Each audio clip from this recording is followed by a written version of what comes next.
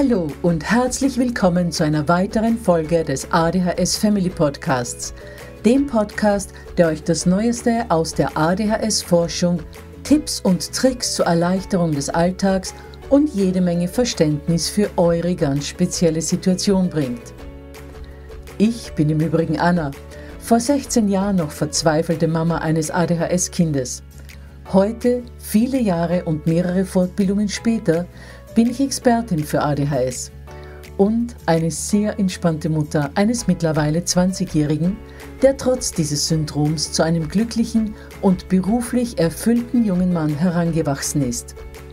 Ich möchte euch mit diesem Podcast genau dort zur Seite stehen, wo auch ich vor vielen Jahren Hilfe gebraucht hätte.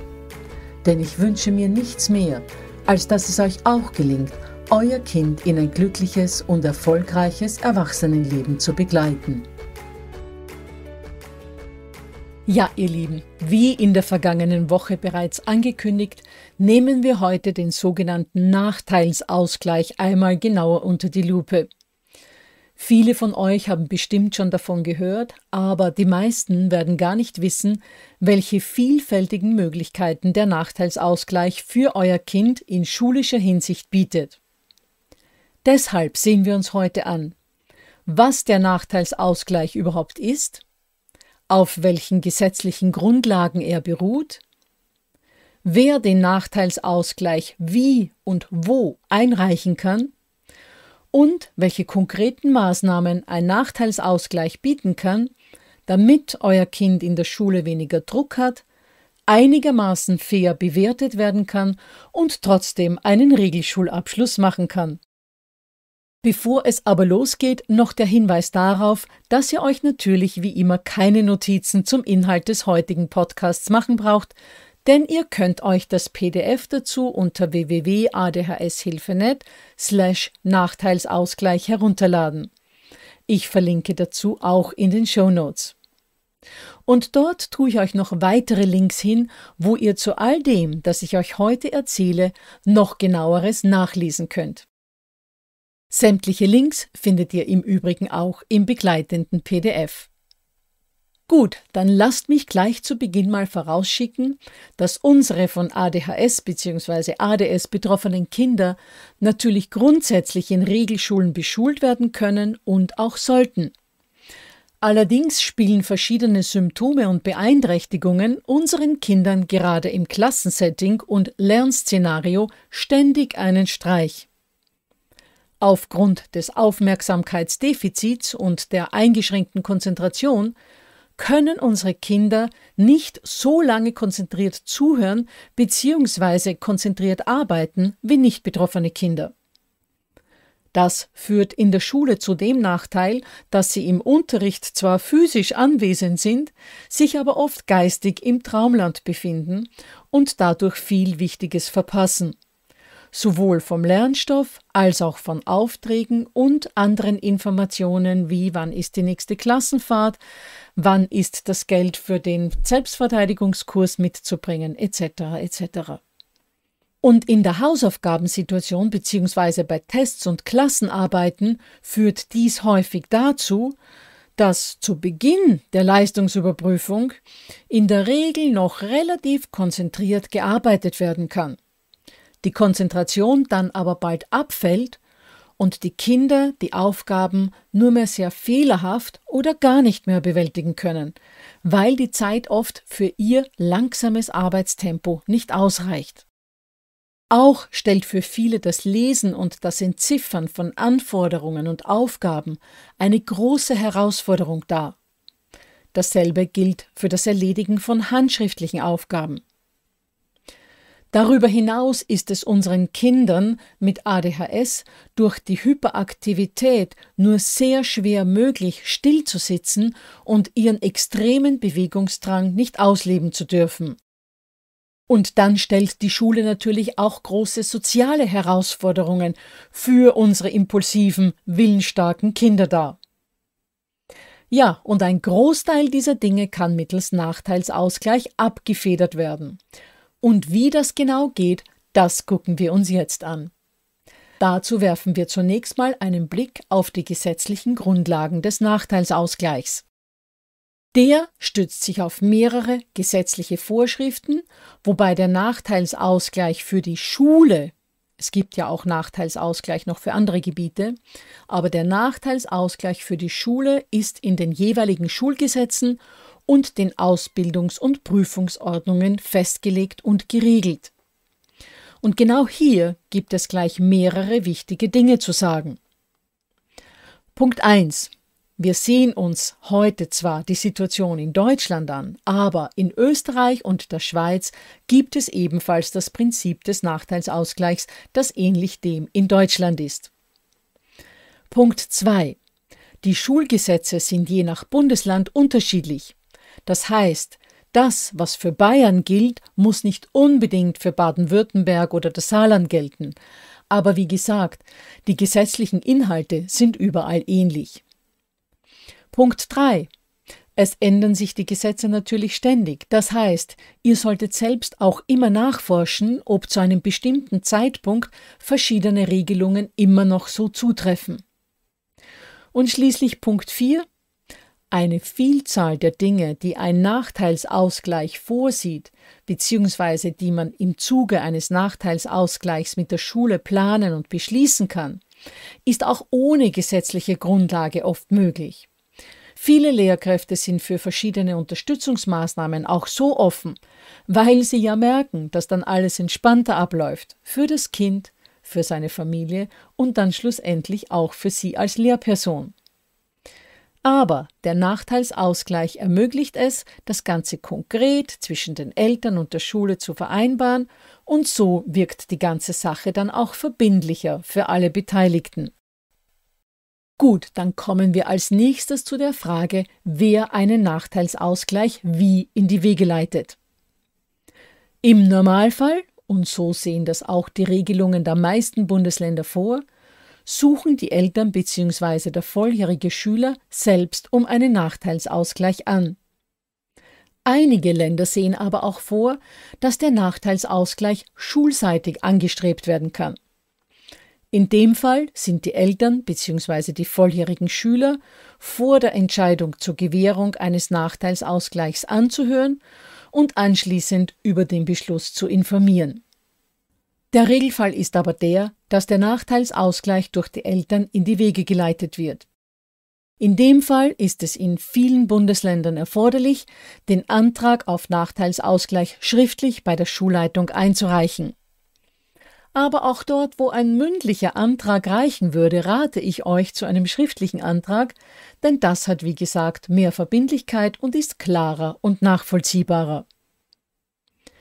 Prinzipiell handelt es sich bei einem derartigen Antrag um ein formloses Schreiben, in dem ihr um die Gewährung eines Nachteilsausgleichs ansucht und in dem ihr die Schwierigkeiten bzw. Beeinträchtigungen eures Kindes so detailliert wie möglich anführt und beschreibt. Denn je genauer die Lehrkräfte wissen, wo es Probleme gibt, umso eher kann durch einen Nachteilsausgleich geholfen werden.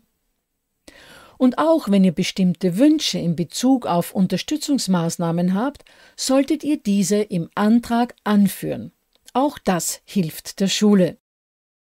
In den meisten Fällen verlangen die Schulen auch die Vorlage von fachärztlichen Zeugnissen bzw. Befunden, aus denen hervorgeht, um welche Art der Beeinträchtigung es sich handelt.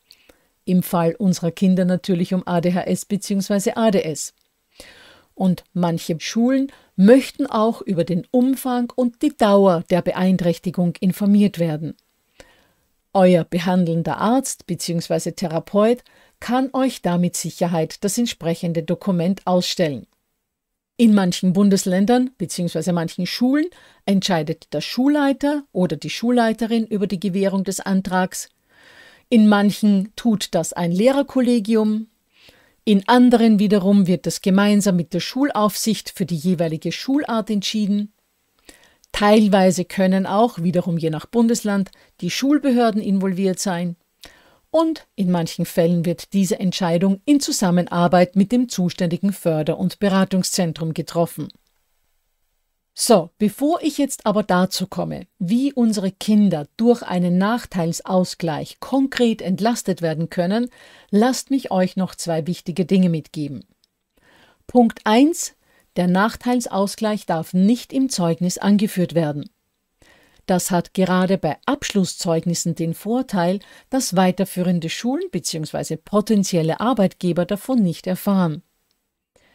Diese Regelung hat aber auch für das Kind selbst einen positiven psychologischen Effekt, da im Zeugnis schlussendlich nur die erreichte Note steht und nicht noch eine Zusatzbemerkung, dass diese Note nur unter Gewährung bestimmter Vorteile erreicht werden konnte. Und Punkt 2 der Nachteilsausgleich ist nicht mit einem sonderpädagogischen Förderbedarf zu verwechseln. Während es beim Nachteilsausgleich darum geht, die Bedingungen für die Erreichung einer bestimmten Leistung für die betreffenden Kinder zu erleichtern, geht es beim sonderpädagogischen Förderbedarf darum, dass Kinder spezielle Unterstützung erhalten, wenn für sie ohne diese Unterstützungsmaßnahmen bzw. ohne diese Förderung ein Regelschulbesuch nicht möglich wäre. Interessant ist dabei allerdings, dass in vielen Bundesländern ein sonderpädagogischer Förderbedarf auch gleichzeitig einen Nachteilsausgleich zulässt. In manchen Bundesländern ist das aber nicht möglich. Erkundigt euch am besten in eurer Schule, ob für euer Kind trotz sonderpädagogischen Förderbedarfs oder eben vielleicht gerade deshalb ein Nachteilsausgleich gewährt werden kann. Nun aber zu den unterschiedlichen Maßnahmen, die im Zuge eines Nachteilsausgleichs ergriffen werden können. Zuerst mal zu den allgemeinen Maßnahmen. Kindern mit ADHS oder ADS hilft es, Anweisungen kleinschrittig zu bekommen und nicht mit größeren Projekten mit mehreren Arbeitsschritten beauftragt zu werden. Einfacher ist es für Sie, zunächst mal nur einen Arbeitsschritt mitgeteilt zu bekommen und sobald der erledigt ist, kommt der nächste bzw. wird das Kind über den nächsten Schritt informiert. Auch die Optik spielt eine wichtige Rolle. Viele Kinder profitieren davon, wenn sie nur eine Aufgabe pro A4-Seite aufgeschrieben bekommen, wenn die Schrift groß ist, wenn Schriftarten wie Areal oder Verdana verwendet werden, die leicht zu entziffern sind, und auch wenn genügend Platz für die Lösung vorhanden ist. Ab der dritten Klasse Grundschule sollte es für Kinder, die vor allem bei handschriftlichen Aufgaben große Probleme haben, die Möglichkeit geben, die Aufgabe auf dem PC zu erledigen oder aber die Aufgabe auch mündlich lösen zu dürfen. Ein weiterer Punkt sind die Klassenarbeiten. Dabei ist Kindern mit ADHS bzw. ADS geholfen, wenn sie entweder einen längeren Zeitraum zur Erfüllung der Leistungserbringung bekommen oder aber die Möglichkeit bekommen, die schriftliche Leistungsüberprüfung zu einem späteren Zeitpunkt abzuschließen. Dabei ist der letztgenannten Möglichkeit, also diesem späteren Fertigmachen, der Vorzug zu geben. Denn oft dürfen betroffene Kinder bei Klassenarbeiten oder Tests zwar länger arbeiten, wenn dann aber die Konzentration nicht ausreicht, kann noch so viel Zusatzzeit gegeben werden, die Leistung kann dennoch nicht erbracht werden. Deshalb wäre es wünschenswert, wenn die Lehrkräfte es ermöglichen würden, den Test oder die Klassenarbeit nach einer Erholungspause fortsetzen zu lassen. Das hat auch den Vorteil, dass die restliche Klassenarbeit zu einem Zeitpunkt geschrieben werden kann, wo Klassenkameraden den gewährten Vorteil sozusagen nicht mitbekommen und sich dann bei der Lehrkraft über diese in ihren Augen Ungerechtigkeit nicht beschweren können. Außerdem fühlt sich das betroffene Kind dann nicht stigmatisiert, weil die anderen durch die Erklärung der Lehrkraft natürlich erfahren, dass es dem betroffenen Kind nur möglich ist, die gleiche Leistung zu erbringen, wenn es mehr Zeit bekommt. Eine weitere Möglichkeit ist auch, betroffenen Kindern schriftliche Leistungsüberprüfungen etwas früher auszuteilen, damit sie bereits in Ruhe alles durchlesen und vorbereiten können. Doch auch hier kann natürlich der soeben genannte Nachteil mit den Mitschülern zum Tragen kommen. Eine weitere Unterstützungsmaßnahme ist jene, dass vor Klassenarbeiten und Tests Eltern von betroffenen Kindern auch schon früher als die Schüler selbst über den Teststoff informiert werden, damit mit dem Üben rechtzeitig begonnen werden kann. Denn wir wissen es ja alle. Kinder mit ADHS bzw. ADS brauchen meist mehr Zeit zum Erlernen der diversen Inhalte. Bei Hausaufgaben kann ein Nachteilsausgleich dahingehend gewährt werden, dass der Umfang der Hausaufgabe reduziert wird oder mit dem Kind die Hausaufgabe in der Pause nochmals kurz besprochen wird, um Unklarheiten zu beseitigen oder aber auch, dass Hausaufgaben mal nachgebracht werden können, wenn die Eltern der Lehrkraft rückmelden, dass an einem bestimmten Tag einfach nicht mehr möglich war, aber die fehlende Hausaufgabe wird nachgebracht. Auch bestimmte Maßnahmen bei der Sitzplatz- und der Klassengestaltung können hilfreich sein. Betroffene Kinder sollten beispielsweise immer in der Nähe der Lehrkraft sitzen, mit dem Blick zur Lehrkraft und gleichzeitig aber auch so, dass auch die Lehrkraft einen guten Blick bzw. einen guten Kontakt zum betreffenden Schüler hat und ihn auch mit ein oder zwei Schritten schnell erreichen kann. Außerdem sollten die Schüler gut auf die Klassenregeln blicken können und auch einen freien Blick zur Tafel haben. Ob von ADHS bzw. ADS betroffene Schüler alleine oder mit einem zweiten vorzugsweise ruhigen Kind an einem Tisch sitzen, hängt oftmals von den Gegebenheiten in der Klasse, der Klassenzusammensetzung und den Wünschen des betreffenden Kindes ab. Manche brauchen viel Platz, um sich auszubreiten und haben lieber Ruhe, andere schätzen einen aufmerksamen Klassenkameraden neben sich, der im Notfall Verschiedenes gefragt werden kann und der auch mal helfen kann. So, ihr Lieben, jetzt aber zum Bewegungsdrang. Wie können unsere betroffenen Kinder, und zwar die mit dem H in der Diagnose, ihren Bewegungsdrang abbauen? Um diesem Bewegungsdrang in irgendeiner Weise ein Ventil zu verschaffen, hilft es betroffenen Kindern sehr, wenn sie zwischendurch auch immer wieder mal im Stehen, also an einem Stehpult, arbeiten dürfen. Durch die aufrechte Körperhaltung ist die Muskulatur in einem ganz anderen Spannungszustand und durch diesen erhöhten Muskeltonus funktioniert auch die Sache mit der Konzentration viel besser. Wenn die Schüler sitzen, dann helfen Wackelkissen, um den Bewegungsdrang irgendwie loszuwerden bzw. die Körperspannung aufrechtzuerhalten. Wackelkissen sind instabile Kissen, die die Muskulatur deshalb fordern und fördern, weil damit viel mehr Körperspannung als auf einer stabilen Sitzfläche benötigt wird, was, wie gesagt, wiederum die Aufmerksamkeit fördert. Außerdem kann der überschüssige Bewegungsdrang durch Rollbretter für die Füße abgebaut werden. Und natürlich helfen auch bewegte Pausen, am besten gleich für die gesamte Klasse. Denn dann fühlt sich das Kind mit ADHS nicht anders oder als der oder die, der jetzt eine Bewegungspause braucht, sondern die ganze Klasse nimmt daran teil und Bewegung tut Kindern ohnehin immer gut, egal ob sie von ADHS betroffen sind oder nicht. Zu den Arbeitsmaterialien. Beim Arbeitsmaterial hilft es, wenn die betroffenen Kinder keine Bleistifte, sondern Feinliner verwenden dürfen, da sie oftmals zu viel Druck auf den Bleistift aufbringen und die Mine dadurch abbricht, was wiederum zu Frust führt. Auch sollte ein Zirkel mit einem Stifthalter für Mathematik und geometrisch Zeichnen eingesetzt werden dürfen, wenn das Kind das möchte. Wenn euer Kind Linkshänder ist, achtet auf ergonomisch geformte Füllhalter für Linkshänder, die es im Übrigen auch für Rechtshänder gibt und die die Haltung beim Schreiben erleichtern. Den PC als Schreibgerät haben wir ja schon erwähnt. Auch die Tafel ist immer wieder ein Stolperstein für Kinder mit ADHS bzw. ADS. Das Abschreiben von der Tafel fällt leichter. Wenn die Tafelflächen übersichtlich und sauber gestaltet sind, wenn die Schrift an der Tafel groß und leicht leserlich ist und wenn nicht mehr benötigtes gelöscht wird, damit der Überblick auf der Tafel für die Kinder gegeben ist.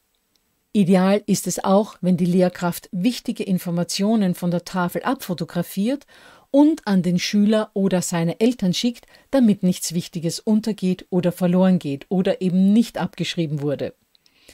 Lehrkräfte, die in der Klasse mit keinem Handy hantieren wollen, können die Inhalte, die sie an die Tafel schreiben, dem Kind dann auch anschließend als Übungsblatt aushändigen.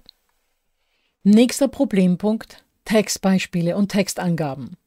Bei Textbeispielen in Mathematik ist es für betroffene Kinder hilfreich, nach jedem Satz eine neue Zeile zu haben und die einzelnen Angaben und Anforderungen eines einzigen Textbeispiels so bereits optisch getrennt serviert zu bekommen Oft gehen wichtige Informationen in einem Absatz ohne neuen Zeilen unter und deshalb wird die Aufgabe dann falsch gelöst, wozu es nicht kommen würde, wenn sämtliche Anforderungen einzeln aufgelistet wären. Auch ein Vorlesen der Angabe kann hier hilfreich sein. Dasselbe gilt im Übrigen für Angaben bei Leistungsüberprüfungen oder Aufgabenstellungen aus anderen Unterrichtsfächern wie Biologie, Geographie oder sonstigen Nebenfächern. In Deutsch kann es eine unheimliche Entlastung für betroffene Kinder bringen, wenn Rechtschreibfehler nicht bewertet werden, auch wenn keine Legasthenie diagnostiziert worden ist. Dasselbe gilt natürlich auch für sämtliche Nebenfächer. Gut, jetzt zu einem ganz wichtigen Punkt, die Reizoffenheit unserer betroffenen Kinder. Im Hinblick auf ihre Reizoffenheit ist Kindern mit ADHS bzw. ADS geholfen, wenn sie Gehörschutz tragen dürfen. Natürlich nur dann, wenn sie selbstständige Arbeiten erledigen und der Lehrkraft nicht zuhören müssen oder wenn sie nicht gerade in einer Teamarbeit beschäftigt sind. Außerdem hilft es auch, wenn die Blickrichtung des Sitzplatzes des Kindes in eine Richtung geht, wo nur auf wenig Ablenkendes geblickt werden kann. Am besten also, wenn das Kind nicht aus dem Fenster gucken kann. Ideal ist es auch, wenn Kinder bei stiller Arbeit in einem eigenen Raum arbeiten können, was natürlich aufgrund der räumlichen Gegebenheiten und der oft nicht gegebenen Aufsichtspflicht nicht immer möglich ist. Ja, und dann gibt es natürlich auch noch Unterstützungsmöglichkeiten in emotionaler bzw. sozialer Hinsicht. Die Unterstützungsstrategien, die im Zusammenhang mit dem Förderschwerpunkt emotionale bzw. soziale Entwicklung immer wieder genannt werden, sind jene, dass die Lehrkräfte ihr Handeln immer wieder hinterfragen sollten, dass sie das Kind, wenn möglich, so annehmen sollten, wie es ist, dass sie den Kindern emotionale Wärme geben sollten, dass sie authentisch wirken sollten und vor allem auch, dass sie überlegen sollten, wie viel des auffälligen Verhaltens des betroffenen Schülers durch ihr eigenes Handeln ausgelöst wird. Außerdem sollten, damit unsere Kinder sich einigermaßen sozial angepasst verhalten können, die Klassen- und Schulregeln klar formuliert sein und gut sichtbar in der Klasse aufgehängt sein. Die Klassenräume darüber hinaus sollten auch gut strukturiert sein und einen gewissen Überblick gewähren. Das heißt, Arbeitsmaterialien sollten immer an derselben Stelle zu finden sein, die Sitzordnung sollte immer gleich sein, es sollte Ablageflächen für Schulranzen und Arbeitsmaterialien geben, etc. etc. Außerdem sollten tägliche Abläufe ritualisiert sein, das heißt immer wieder gleich stattfinden, damit die Kinder wissen, was auf sie zukommt. Denn von ADHS bzw. ADS betroffene Kinder können es einfach gar nicht abhaben, wenn sie vor einer Aufgabe oder Anforderung stehen, die außer der Norm ist. Da reicht schon der Wechsel in einen anderen Klassenraum, der sonst nicht stattfindet, weil es die Kinder zum Beispiel nur gewohnt sind, für den Sport oder den Chemieunterricht oder den Werkunterricht in eine andere Klasse zu gehen. Und um soziales Verhalten zu beeinflussen, ist es auch günstig, wenn zwischen der Lehrkraft und dem Schüler Sonderzeichen vereinbart werden, mit Hilfe derer die Lehrperson dem Schüler unauffällig rückmelden kann, dass er sich wieder seiner Aufgabe widmen soll oder dass er eine störende Tätigkeit beenden soll. Das kurze Zeigen der Kreide könnte zum Beispiel ein solches Sonderzeichen sein oder aber auch das Ablegen eines kleinen vereinbarten Gegenstandes am Tisch des Schülers. Schließlich kann natürlich auch ein Schulbegleiter bzw. Integrationshelfer Wunder wirken, da Kinder mit ADHS bzw. ADS in einer 1 zu 1 Situation meist wunderbar funktionieren und sich da auch viel besser konzentrieren können. Wichtig ist nur, dass es sich dabei um eine Person handelt, der der Schüler oder die Schülerin auch vertraut, bzw. muss die Chemie zwischen den beiden stimmen. Leider ist es aus Personalgründen manchmal nicht möglich, einen Schulbegleiter für ein betroffenes Kind zur Verfügung zu haben. Ja, ihr Lieben, abschließend ist natürlich noch festzuhalten, dass ein Nachteilsausgleich alleine in der Regel nicht reicht, um euer Kind bestmöglich zu unterstützen. Denn ein Nachteilsausgleich nimmt ja nur dort den Druck heraus und bietet nur dort Alternativen, wo euer Kind Schwierigkeiten hat. Hand in Hand mit einem Nachteilsausgleich sollte also die Förderung in jenen Gebieten erfolgen, in denen euer Kind Schwächen hat. Doch auch hier ist Vorsicht geboten, dass es zu keiner Überforderung kommt. Spürt also genau hin, was ihr eurem Kind noch zutrauen und zumuten könnt, geht an die Grenze des Machbaren, und wenn ihr dann wirklich mal drüber gegangen seid und euer Kind überfordert habt, dann rudert auch gerne mal zurück Seid offen und sagt eurem Spross einfach, dass das jetzt offenbar ein wenig zu viel war. Eure Kinder schätzen es, wenn sie an euren Worten und Reaktionen und Handlungen merken, dass ihr aufmerksam für ihre Gefühle und für ihr Inneres seid. Und wie das gut gelingen kann, das heißt, wie ihr es schaffen könnt, ein gutes Gefühl für das Innere eures Kindes zu entwickeln und das dann auch in Worte zu fassen, das verrate ich euch in einer der nächsten Episoden in den kommenden Wochen. Dann erinnere ich nochmals an das PDF zu dieser Episode unter www.adhshilfe.net slash Nachteilsausgleich und freue mich, wenn ihr in der kommenden Woche wieder mit dabei seid.